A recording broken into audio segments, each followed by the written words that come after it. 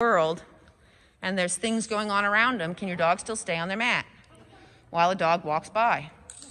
Or a person, or a few people, or a few dogs? I could not love that more, Cece.